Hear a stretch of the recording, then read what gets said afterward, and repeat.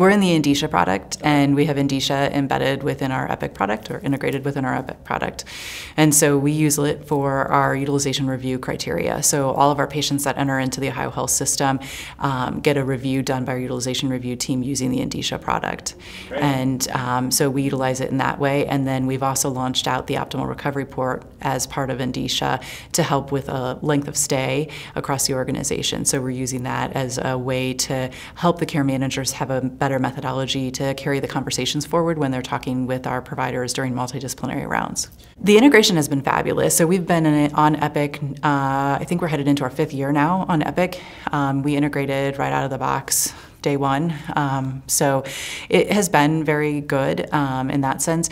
I think there's probably a few things that we would still love to tweak, as anybody would, but overall, very seamless. Um, the team enjoys wholeheartedly to have everything in one spot, to be able to have their medical record and the criteria, um, the guidelines all in one place, and be able to be working in the same product all at once instead of having to go back and forth between two programs. That was their old system, um, to be having to go back and forth, and this is much nicer for them to have everything together. Right, a lot more efficient Very efficient, very time saving. They still, we still have um, campuses that are not all on Epic yet. They'll be integrating over the course of the next two years, and so for us, they still have that old methodology, and we have to work through it. So our team knows and feels that heartache every day.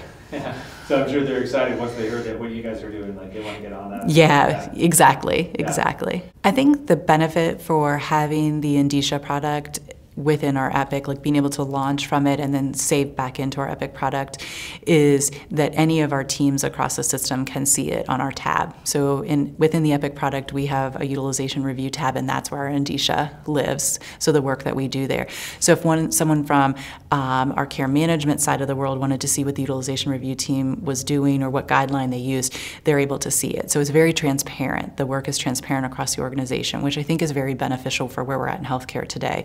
So so anyone can look at that and see it, and they can make notes, you know, across the system um, between the care managers and the utilization review team. So it's made it very transparent to everybody about where the patient is, which guideline they're utilizing, and then they're able to have better dialogues together about where the patient's headed. So if the care manager, who's more forward-facing with the patients out on the unit, notices something different and thinks, hey, maybe it would be a good idea to look at this guideline, or something different has really changed with this patient, they can have that better dialogue because the work is isn't behind the scenes in another application or in a separate application that they can't see at all.